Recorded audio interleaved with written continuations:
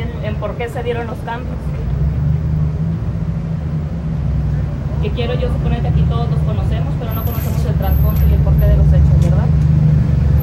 Pero bueno, si quieren, el licenciado Richard, ¿quieren que venga? ¿Va a venir? Sí.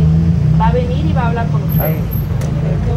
Y ya ustedes este, determinarán lo que se tenga que hacer o a qué va a proceder.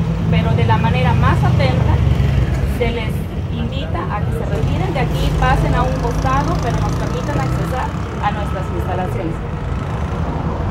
Por nueve alumnos se están deteniendo 60, se- más de 600 alumnos que están interesados en venir y a tomar su cátedra, en venir a adquirir ese conocimiento y no a este tipo de situaciones. Por, por nueve alumnos se están deteniendo todos estos maestros, todos estos alumnos, en venir a tomar su cátedra como se debe. No es justo, muchachos.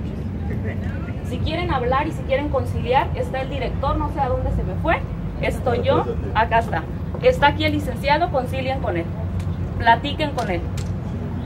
Si quieren que venga Richard y espérenlo ahí, den, dennos oportunidad de accesar a las instalaciones para que el resto de nuestro alumnado tome su cátedra. Porque tampoco es justo lo que ustedes están haciendo, muchachos. Entonces, de la manera más atenta, les damos cuánto, cuánto tiempo quieren para que nos quiten sus mantas y nos permitan el acceso.